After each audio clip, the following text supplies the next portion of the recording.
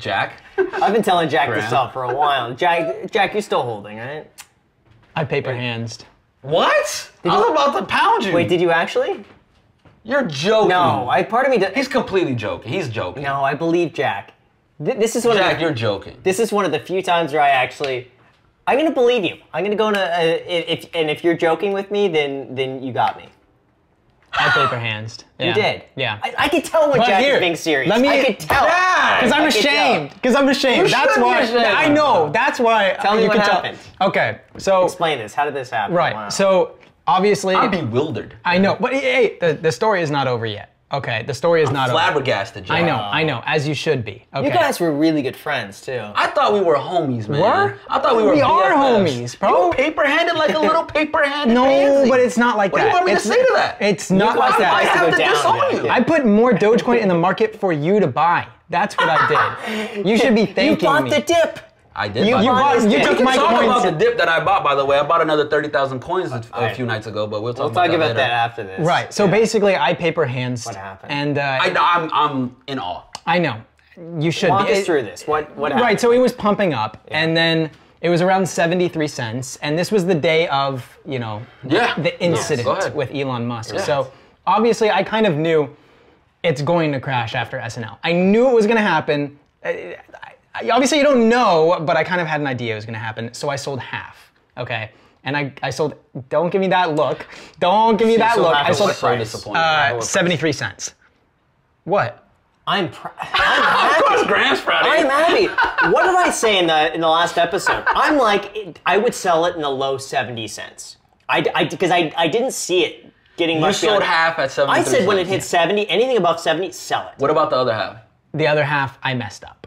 And I sold basically at the lowest point possible. Forty because cents. You got worried. No, it wasn't 40 cents, it was 50. But like, essentially what happened was I was trying to sell and on Robinhood it wasn't allowing me to sell and it kept canceling me out and I lost like a Yeah. thousand bucks in a matter of like, I don't even know how long, like five minutes, 10, 15 minutes because I kept trying to sell, but it wasn't allowing me to do so. When was that?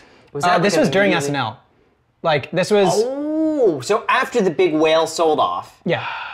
Y- what Robinhood didn't allow you to sell. Like, the servers were Right, was crashing. an Yeah, issue we're with watching. it. And I'll talk about that right afterwards. Right. Yeah. So I had to hold on to that, and then I ended up selling, you know, and I lost like a thousand bucks. But in total, I turned Good. my initial. I know, good. I, I deserve it, right? No, you do. I, I turned that hundred dollars into it was like thirteen and a half thousand or something like that. Isn't So- Jack the same guy that said he was gonna hold if it dropped down to five cents?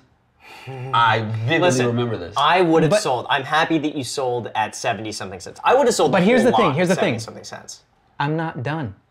What is- okay. okay, let's go. Let's I'm go. buying more. Okay. I'm I'm opening up an account on Binance, and I'm buying more. let's Right. go. as soon as the dip happens, I'm Then buying what the was dip the point of you selling? to make money. Because I turned didn't make hundred dollars into thirteen thousand. Yeah, because then you're And- going to pay tax on that. So you're Yeah. right, right off the bat, 20%'s gone. Wait, wait, no, short term. You're paying short term capital gains on that, right? Right. Well, we don't have to go into the logistics. Yeah, we do because that you're you're looking at 37%. Uh, look, No, no, as- no, no, you're not 30%. You, you're at 30%. As- short-term, yeah, Sure, term, thirty percent. That's fine. I'm okay with that. As you have probably recognized, Dogecoin is very cyclical. Like it's low and then it goes high and then it goes low, but the low is a little higher. can't time the market, Jack. That's the worst mistake you can possibly make, and that works both in the crypto world and the stock world. You can't try to time it. You're I did time it. I sold half at the highest possible point. I know, and then you sold the other half at the lowest possible Yeah. point. Okay. Like, Yeah, that's you know what I mean? Okay. I would have sold the entire thing. Either you're all in or you're all out. Yeah, you're all in or you're all Because out. here's the bro. I wouldn't have sold the second part. Like it's one thing to say, okay, I sold half at 70. And then you hold the rest. say, and you hold the rest.